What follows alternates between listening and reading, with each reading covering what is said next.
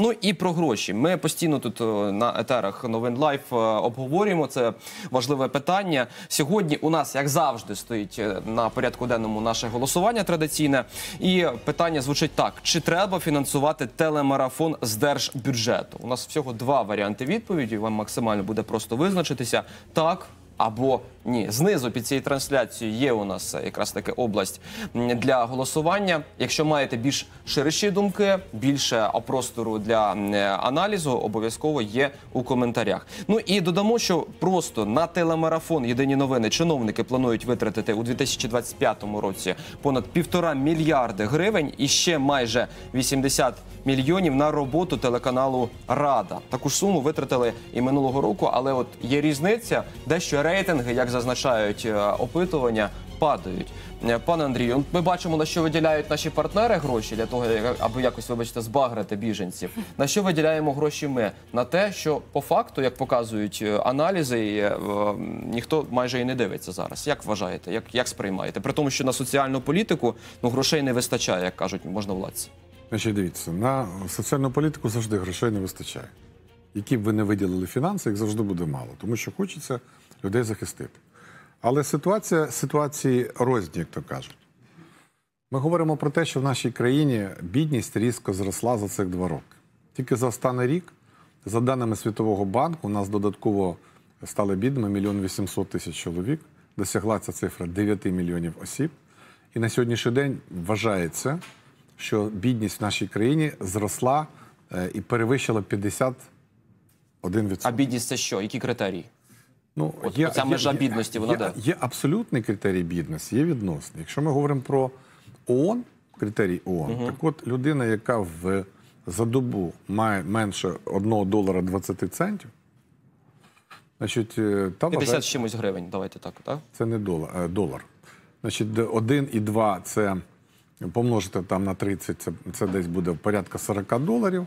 От 40 доларів помножити, це 1600 гривень. Той, хто отримує менше 1600 гривень, це вважається абсолютна бідність.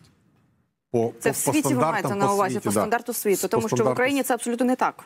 Ну, якщо взяти нашу прожитковий мінімум Звісно, для, для це. непрацездатних 2361 гривня, то це не так багато. Так. Тобто, по абсолютному критерію бідності ми, звичайно, стоїмо трошки вище, ніж там африканські країни. Але якщо ми говоримо про критерії бідності в Європейському Союзі, куди ми прагнемо, то там бідними вважаються люди, які отримують в день менше 5 євро. 5 євро це 200 гривень. 200 гривень помножити на 30 це порядка 6 тисяч. Да? Ну так, да, все правильно. 45 навіть, я перепрошую. 45, зараз вже 45 Так, е, за євро. євро. Е, 45 на 45, 5 на е, 200, 200, 225 гривень в день. Так?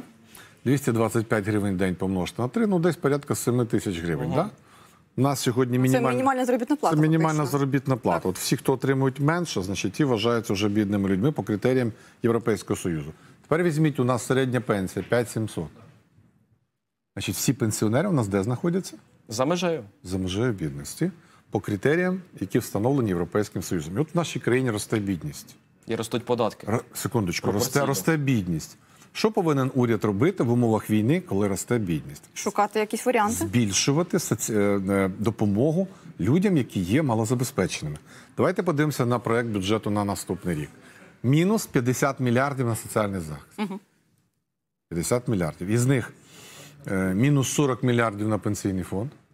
Я не знаю, як вони збираються підвищувати, ну, індексувати пенсії в 2025 році при таких підходах. І мінус 7 мільярдів по програмі Дивіться, житлових пане субсидій. Андрію, ми про, про єдині новини з вами почали Так, говорити. З соцполітики, соцполітики 50 мільярдів мінус зробили, а з єдиного марафону мінус не зробили. Та й той самий рівень. А чому? У зв'язку із чим? Це працює взагалі? Чи це комусь так вигідно? Чи це хтось порадив? Чи можливо аби знову е, чоловіки із МВФ сказали ні, отак от нам треба. Тому що наші чиновники завжди знаєте, це не ми, це МВФ. Ви повинні розуміти одну просту річ. В цій країні всім керує одна людина. І ніхто в цій країні цій людині заперечити не в змозі. Він приймає рішення, хто буде міністрами всупереч Конституції, тому що подання на звільнення міністрів і призначення міністрів повинен робити прем'єр-міністр, порадившись з коаліцією. Одначе, як ви знаєте, як зміняли зараз міністрів і яка була процедура. Прем'єр був настільки засмучений, що навіть постанови, проекти постанов не вніс в Верховну Раду про призначення міністрів. Хоча це його пряма обов'язок. Пан Андрій, що Я ви до чого веду? Я вибачте, закінчу. Так от, всі ці пріоритети, про які ви кажете, коли на бідних плюнули і забрали в них 50 мільярдів, но залишили марафон, який славить найвеличнішого політичного лідера сучасності, це рішення президента Зеленського. І це треба пам'ятати. Це відношення його справжнє до українців і до їхніх потреб. Більше того, коли ми говоримо сьогодні про податки, от моя дружина вчителька, вона 36 рік, вибачте, 30. е, Да, 36 рік працює в школі. Не один запис трудовій книжці. Вона вчителька початкових шкал, класів з 1988 року. От вона отримує е, 20 тисяч гривень в місяць. Ну, в неї там вища категорія, вона вчитель методи. Весь цей набір у неї є. Це грязними. 19,5% вона платить податку на доходи фізичних осіб. Значить, відкиньте 4 тисячі, це залишається 16, да? Плюс 1,5% вона платить е, військового збору. Військовий збір. Так. Плюс вона в пенсійний фонд платить майже 4 тисячі гривень. 4 тисячі гривень. І зараз їй, їй підвищать, підвищать ставку військового збору з 1,5 до 5%. І на наступний рік уряд скорочує видатки на освіту на 8 мільярдів гривень. Тобто вона, вчителька, яка вчить дітей, наступного року буде отримувати зарплату меншу, а працюватиме так само, як зараз і є. При інфляції в 10%, яку вони сьогодні закладають в бюджет. Ну, стоїть питання: давайте оподаткуємо прибутки банків, Не хочу. які, хочуть. які просто тупо на ОВДП заробляють, як каже наш економіст Олексій Куч, гроші навіяні вітром. І що? Прибрали норму. Як же можна образити банки? Про що ви говорите? Нас не зрозуміють. Скажіть, будь ласка, це як називається взагалі? Це для кого наша держава існує? Для банків? Ну, прийнято зараз говорити не на часі, пане Андрію. Серйозно? Тобто хай воюють робітники і селяни, хай затягують по- по- пояси лікарі, вчителі і всі інші, хто паше сьогодні. А ця публіка буде жирувати і далі? Чи як це у нас? У нас війна чи як?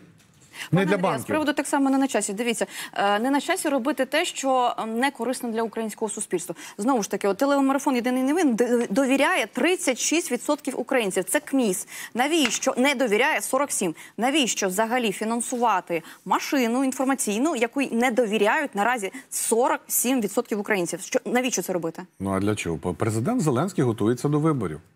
Навіть 36 ідю- відсотків, які е, йому довіряють, це достатньо багато. І це, він не хоче втратити цей електорат. Тим більше він же ж не свої кишені платить. Він же ж платить за рахунок державного бюджету через кишеньковий уряд, тому що це ж не він закладає. Він підписує бюджет, але закладає кишеньковий уряд на чолі з Шмигальом. І ці пріоритети для нього є головні. А те, що в країні росте бідність, те, що в країні соціальні стандарти на три роки заморожують на секундочку. От уявіть собі, сьогодні пенсія мінімальна 2361 гривня.